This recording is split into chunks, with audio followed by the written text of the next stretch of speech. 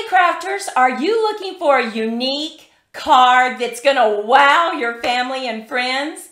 Well, I'm Georgia with Creative Moments by G, and we have a pop-up box card that is super easy to make, and we wanna make it with you today. Let's head down to the crafting table and let's get started. The first thing you're gonna need for your card is to cut your base card. Now this base card is a little different than your normal A2 base card. This is cut at four and a fourth by eight, and we're gonna make some score lines. So go ahead and pull out your trimmer, and we are going to score it at one and a fourth and two and a half. Now we simply are going to fold forward and fold back. So go ahead and get your bone folder and let's reinforce those score lines. And most people score on the top, but they forget to score this bottom. So make sure that you really go in there and score this bottom. And this is how our card is going to stand. Now, you're going to need to put a mat on the back so that you can write your sentiment. So let's go ahead and do that and just get that out of the way. Now we are going to make two cards today because we want you to become familiar with how to make this card because it is so easy but yet it is so unique and everybody is going to love it. So let's get some glue on the back and just get this back fixed.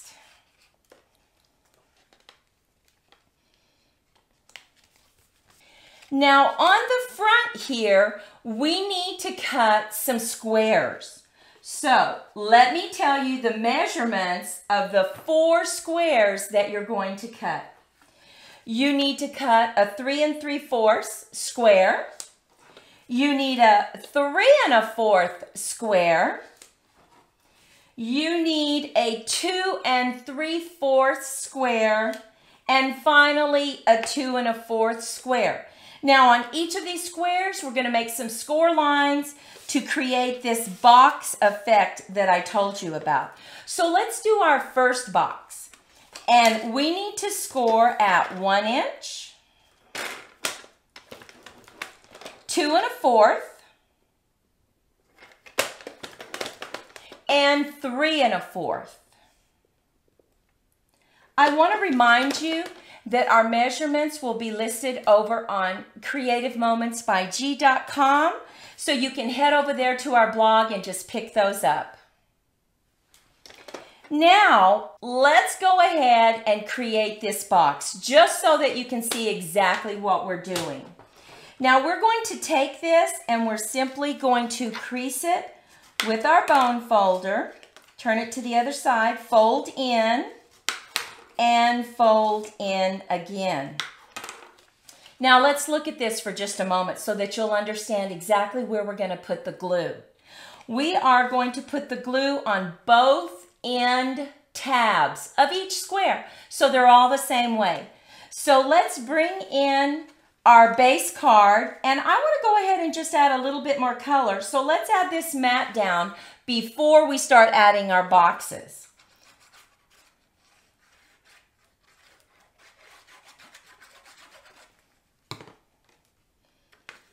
And this just really ties in the DSP that we are going to use on this card. So we have our square. Let's just flatten it just like this with the little bitty tab over to the right. Now go ahead and add some glue down this tab and down this side. Now, you're going to take this side with the little bitty tab and you're going to fold it on the second score line, fold it under, and now we are simply adding this right to the score line of our card and just lay it flat and hold it. This is what is going to create our first box. Now we will add our DSP later, but let's just go ahead and hold this down. We want to make sure that it gets a really good grip on it. And you fold it up. Now look at that. See how it created our first box. Now let's go ahead and create our second box. And we need score lines of 3 fourths, 2, and 2 and 3 fourths. Once again, let's move our trimmer out of the way. And let's fold in on our score line, turn it over, fold in the score line, and fold in that little bitty score line. Now, we're going to flatten it again. We have our big tab over to the left and our small one over to the right. Let's go ahead and bring in our glue. Let's add our glue down each side. And this is so cool. You simply take the tab that is small, the second score line, fold it under, bring in your card, this one goes flat, and just line it up right in the middle.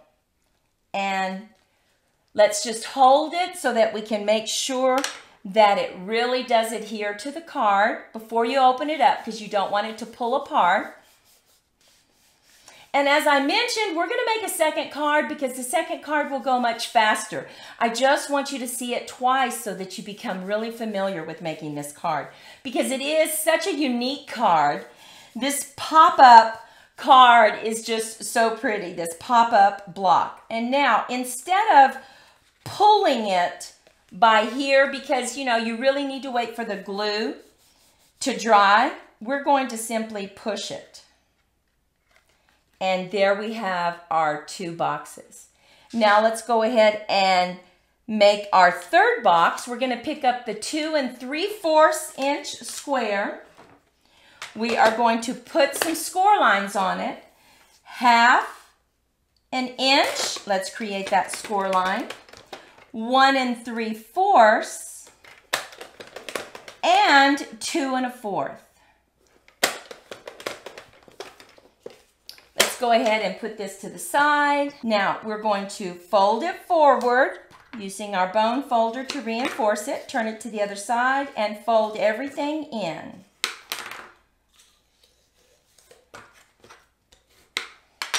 Now remember, you always want the larger tab or you can think of it like the side that has two score lines, you always want that to your right. So let's go ahead and add our glue to the end tabs.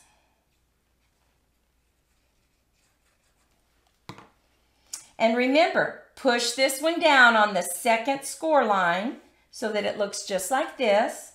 We're going to line this up right in the center and fold it over. Do you see how it is creating those cascading pop-up boxes? I love this card and just hold it down because we really want it to stick to the base card. And then you can just push it up. Remember, you don't want to pull it. You want to wait for it to dry completely, and we know that it hasn't done that. So now we have our three boxes, and we're going to make our last box. So let's go ahead and bring in our trimmer again, and let's create our score lines. We need a fourth of an inch, one and a half, and one and three fourths.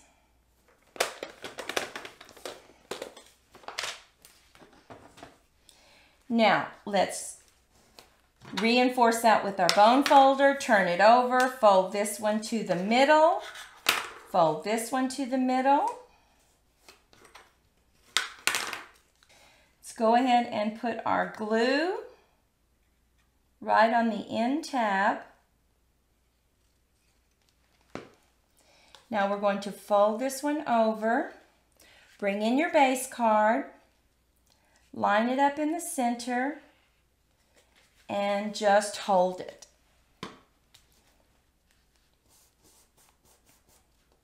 Now we're going to lay this flat right here and I'm going to show you the DSP that we're going to use. Let's go ahead and just put something on that to hold it down. Now we have used for this pop-up box card, we use the embossing folder that's called Wintry 3D and we use these beautiful little snowflakes. We also use the sentiment from Merriest Moments and we picked up some beautiful DSP from the Boughs of Holly. Look at this. And this is going to go on the top of our boxes. So let's just bring this up. Now remember, kind of push it from the side right there so that we give it time to dry. We're not putting a lot of stress on it. Now look at those boxes. How cute is that? It's going to stand up on their desk as a keepsake. But now we're simply going to start decorating it. Now we need to go ahead and run this through the embossing machine. So let's go ahead and just find exactly where we want most of the embossed area. I really like that area on the embossing. And that's a great tip. When you have small strips like this, make sure that you really place it where you get most of the design. So let me just run this through. I'm Just gonna open it up and look at this beautiful design. So we are going to add that right here, right on the side. So let's just grab our glue. And we are going to cut our strips. Now go ahead and cut a one inch strip of your DSP. And the first strip that we're going to cut is one and three and a half. So one strip really does it from a 12 by 12 DSP. So we're going to cut one and three and a half. So that's going to be our first box that we have. Next, we're going to cut a three inch.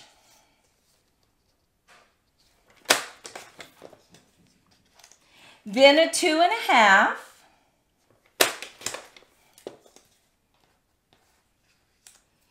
And finally, a two inch. Now, I cut an extra strip just in case I needed it, but I don't need it. Now we are going to add these to our base card. Just bring in your glue. And I love these coordinating colors. I love that we picked up this garden green and added it. So pretty. And you can just add this right here to your box. We're going to add the next one.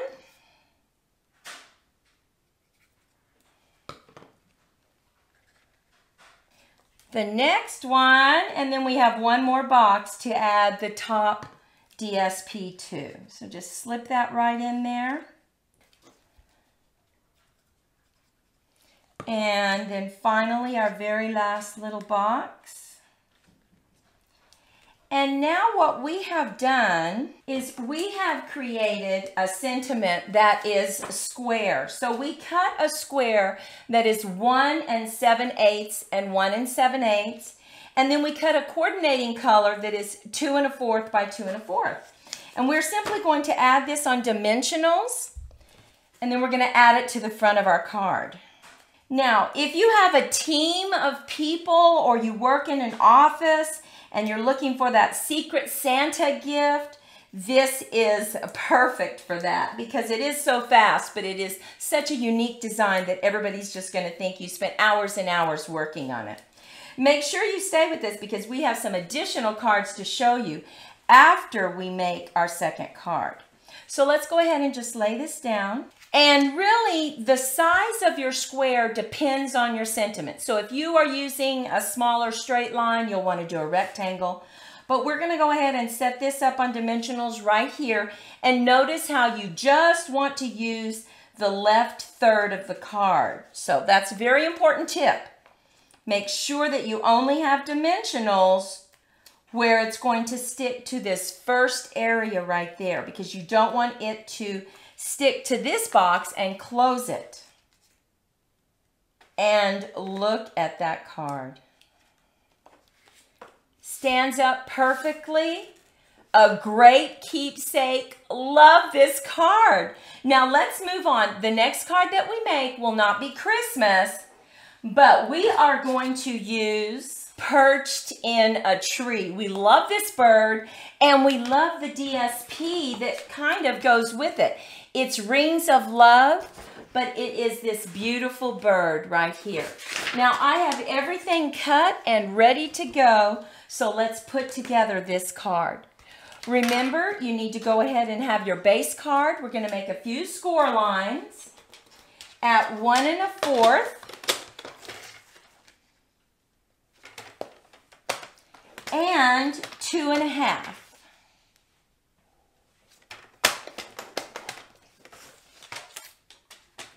We are going to fold into the center of the card and reinforce it with our bone folder.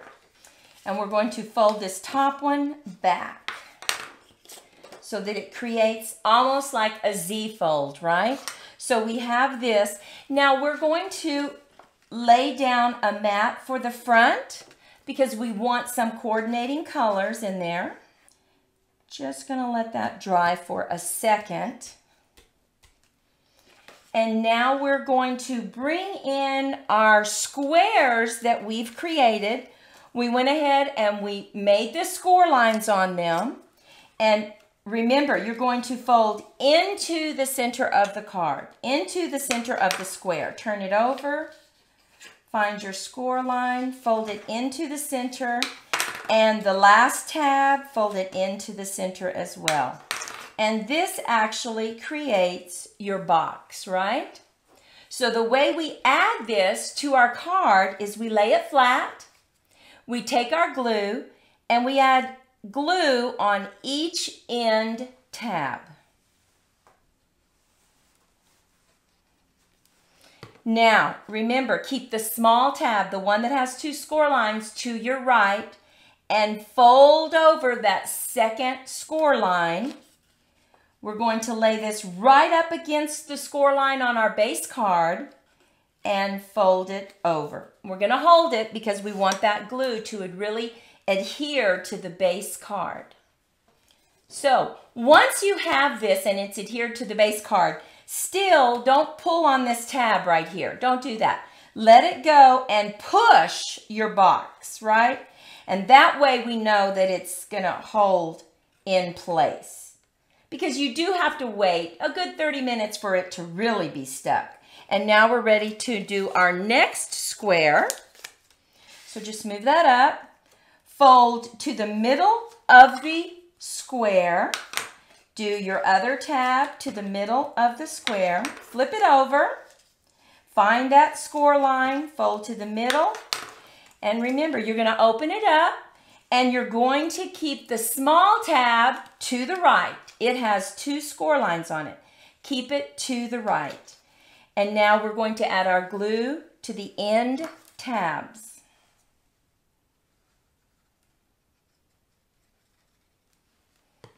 Take it in your hand and fold under that second score line so that we have it just like this. Bring in your base card, go right to the bottom of that box and fold down and just hold it so that it really gets stuck to the base card. Now remember, don't pull from this side yet because it really hasn't dried as much as we want. Push from this side. That way you know that your box is going to stay down. And there we have our second box.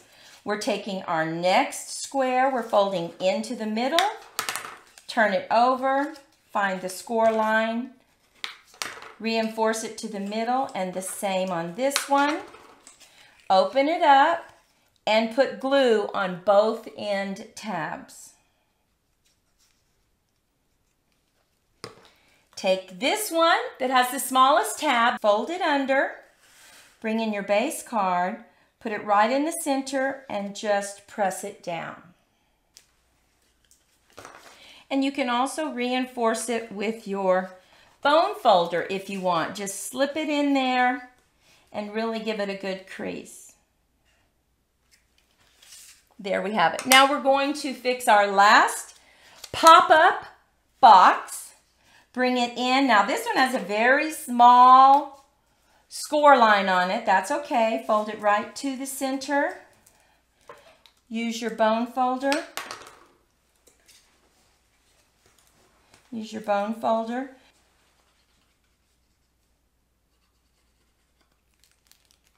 We're going to fold this over and we're just going to put it right in the center.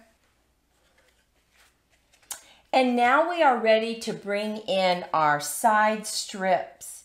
Now on this one, we're not embossing it. We're just going to lay it down because we have colored a beautiful bird. Let's bring in our strips that we've already cut. Now, if you have directional paper, be mindful of how you put this on your card because you want to make sure it goes exactly right. I wouldn't want to put my birds upside down. Bring in the next DSP.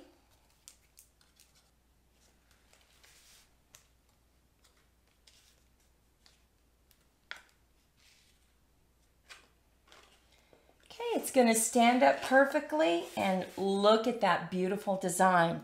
Now what we have done is we simply took that stamp set perched in a tree.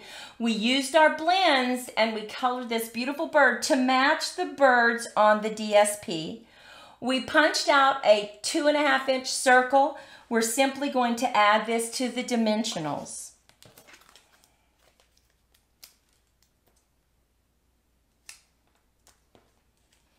We're going to add this to the front of our card, just like this, making sure that you don't go over because you can't go over, it won't fit in the envelope, and his little tail needs to be right there. So you only want to put dimensionals on the third of, back third of this circle.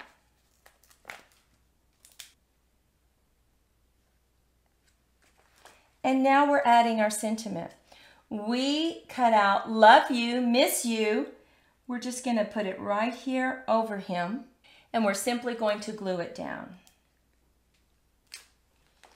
And there we have our card. Now, you have plenty of space to write on the back. Love this Christmas card. And remember I told you we have some additional cards to show you. We used our base card and we didn't add a mat here. We just added our strips. We did emboss the front. Then we had to do one with flowers, right? We added a few gems right here on the front. We didn't add a mat on this one either, but we wanted to step it up today and show you that you could add a mat very easily. And finally, we brought in our black and white stripes with our red. Wow. Look at that card. Doesn't that look like an optical illusion? It does to me. This is a beautiful pop-up box card that you can make now, you can use any kind of label here that you want, but just love these cards. They are so unique. Well, we hope you enjoyed these cards and you were inspired. Take a moment, please. Give us a thumbs up, leave a comment, and share with your friends. Help us grow our channel. We want you to go out and have a fantastic day. Remember, all the supplies and materials are listed below the video, and we'll see you next time. Bye-bye.